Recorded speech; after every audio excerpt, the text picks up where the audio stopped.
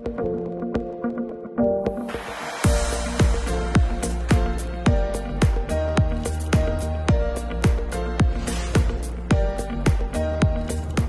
Florida woman's passion for photography inspired her to make a difference in her community.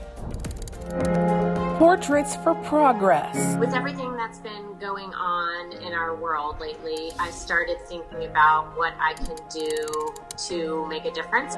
That's when photographer Andy Diamond turned to her camera. I think it's created something really powerful, much more powerful than I thought it was going to be. She shot Portraits for Progress over multiple days, using her Facebook to put the word out that she wanted to give people a space to safely share their concerns and their fears. And over the course of just 24 hours, about 70 people answered her call. Individuals, couples, families, um, black, white, straight, gay, just all different walks of life.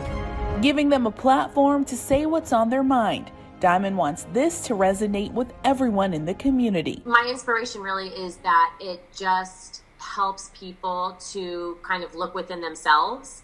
Maybe look a little bit at your own prejudice that you may not realize that you're carrying. Hoping these portraits can be the start of some progress.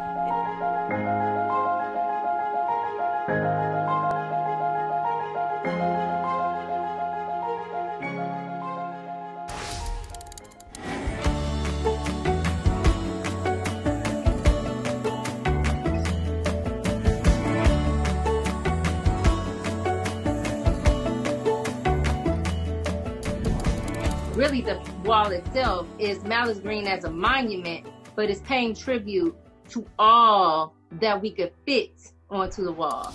They're names of black and brown people killed by police. Muralist Sydney James says there's around a thousand. I painted that that piece, that wall, with my full heart and soul, like every bit of me.